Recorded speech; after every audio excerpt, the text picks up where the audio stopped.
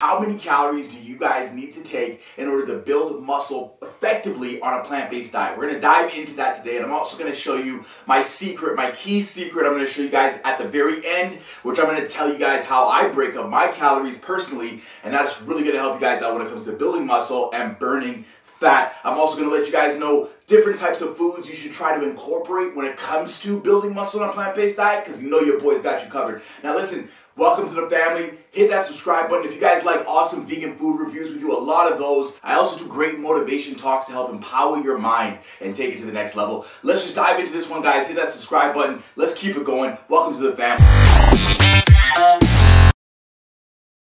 Calories are the energy that your body's going to use to build muscle off of. A lot of people are in too much of a calorie deficit to build muscle. And the number one thing I notice when people are moving over from a meat diet to a plant-based diet is they're not understanding the calories that they're, they've removed from their diet by switching over to plant-based. Let's say a chicken breast is 120 calories. Let's say you're eating salmon that's maybe 150 calories per fillet. Now, if you are eating that twice a day, then you easily have a little over 200 calories. Now that 200 calories adds up over seven days because a lot of times it's the consistency that'll either get you results or not get you results. So if you're someone who has a little over 200 calories, now all of a sudden a day and you're getting rid of that throughout the week and you're not replacing that with uh, good plant-based foods that also have good protein, then your calories are going to be super low. If you add up two times seven over there, we've got 1,400 calories a week that you could potentially be missing out on because you haven't replaced what you got rid of if you're transitioning from a meat diet.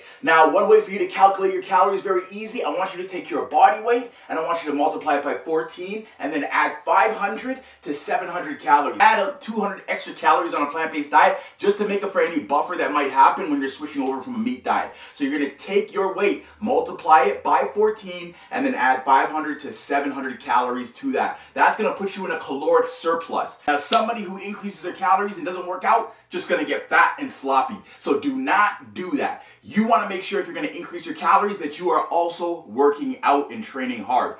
So now that you know how to have your calories, a simple formula, it doesn't have to be nothing crazy. This shit doesn't have to be grade six algebra all over again. And even though I'm not a grade six anymore, if you were to throw grade six algebra at me, I have no idea what the fuck I was doing. I'm just being honest with you guys. So if we're diving right in, keep it very simple. Now we're gonna move on to the next thing. Now that you got your calories in, where should your calories come from? Now you wanna focus on getting calories from a lot of whole food sources. Whole food sources like beans, wild rice. White rice is great as well. If you combine white rice and wild rice, especially after a workout, post-workout is great because that white rice is going to send a signal to your body to release insulin a little faster. It's almost like having fruit after a workout. That's going to open up your cells, rush the nutrients into your cells. On top of things like wild rice, white rice, beans, you can get your dark leafy greens in, but you don't want to overconsume dark leafy greens if you have a lot of calories to hit because that's going to make you feel super full. So what you want to do is get just enough here and there and you can also supplement with a food like a super green to help you get those greens in so you just don't feel over full, if, especially if you have 35, 3,500 calories to hit, but you're getting too full before you hit that 3,500, it's going to be extremely difficult.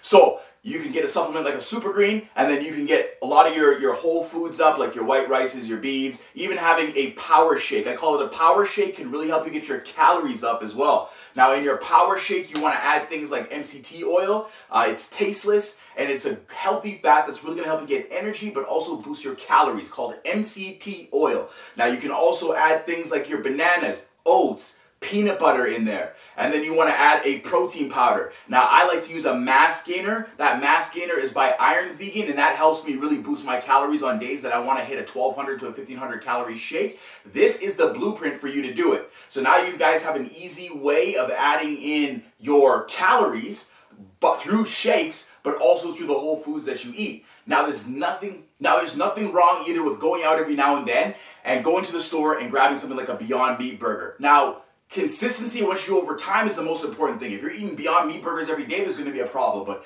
mock foods can help you to increase your calories extremely in a very easy, efficient way because they pack a lot more calories than having something like rice, veggies, Um, beans, for example, is going to be a lot tougher. Chickpeas is going to be tougher. So every now and then, adding in some mock meat, like a Beyond Meat burger with a whole grain bread, can really help you out, help you to get your nutrients as well. But you don't want to overdo it. Balance is key.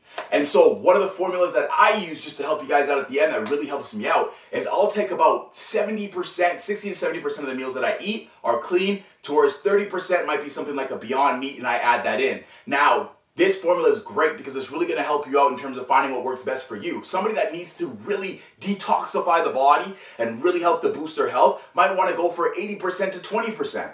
But at the end of the day, you always need to take a look at yourself, see how it is that you feel with what you're eating, and then go from there. All right, so you're your best judge you're intuitive with your body, so then you'll know what type of calories are empowering your body and what type of calories are limiting your body's ability to empower itself and heal itself. All right? Simple tips. I hope that helps you guys out. I'm gonna go ahead and see you guys in the next episode. It's your boy Jason Christo.